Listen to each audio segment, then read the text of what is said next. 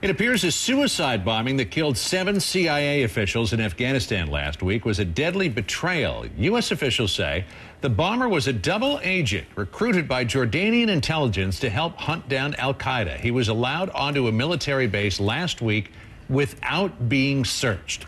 Our Barbara Starr is following development. She's live for us at the Pentagon this morning. Wow, this this just kind of doubles up on this tragedy, Barbara.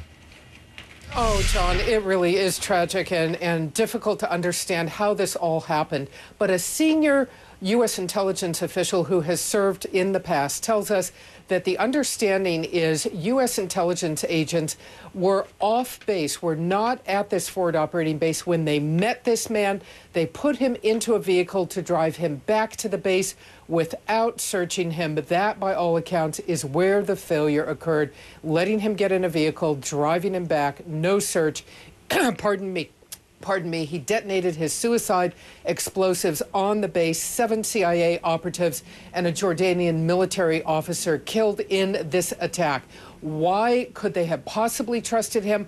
By all accounts, he had been recruited and was believed to be a trustworthy source. He had provided valuable intelligence on high level targets in the past. They believed that he had intelligence about Ayman al Zawahiri, Osama bin Laden's number two. This was critical, but this failure occurred and he was allowed into this base without being searched, John. Barbara, do they, as you said, he provided um, information on high level targets in the past. Did anybody have any theories or any information on how he suddenly turned back the other way? Was he plotting this all along, just trying to gain their trust? Well, let's let's look possibly at the identi identity of this man who's identified as uh, with the name Al Balawi. He was a Jordanian who had already been arrested in Jordan for militant activities. The Jordanians believed he'd been rehabilitated and had basically come to the other side. Uh, he actually came from the same small home, uh, hometown in Jordan as Abu Musab al Zarqawi, the one time leader of Al Qaeda in Iraq. Uh, did he ever really come to the other side? Was he always uh, harboring these militant beliefs and nobody realized it?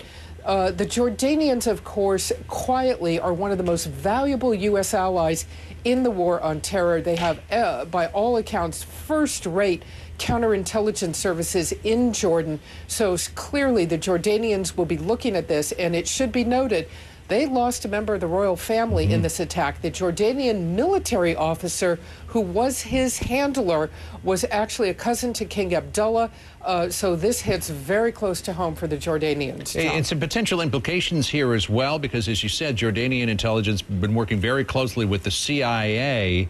The extent of those ties probably not something that uh, King Abdullah wants out there in the public forum he he certainly has kept this very quiet for years. The Jordanians not officially talking about it. All of this information comes from U.S. officials, and you're absolutely right.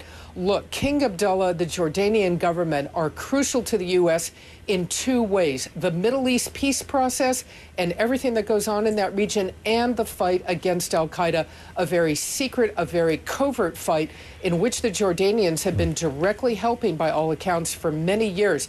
King Abdullah walks a very fine line in the Middle East as a close U.S. ally but also knowing that he has a militant faction, a very fundamentalist faction in his own country, plus the Palestinian population in Jordan. This puts the king, the royal family, and the Jordanian government in one of the toughest, most delicate positions in the region.